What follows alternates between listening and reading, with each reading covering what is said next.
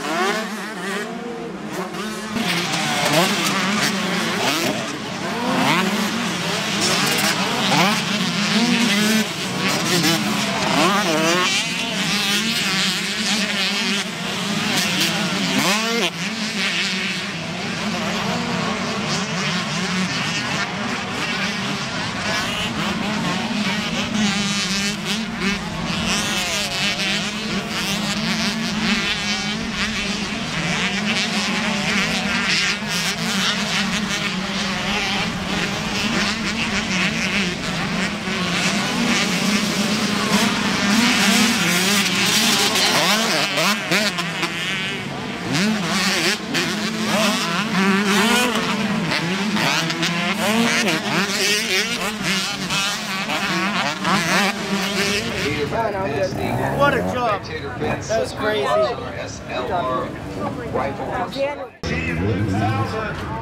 Says right here, Luke Skywalker, love it. I'm here for it. You got it, brother. Grab it.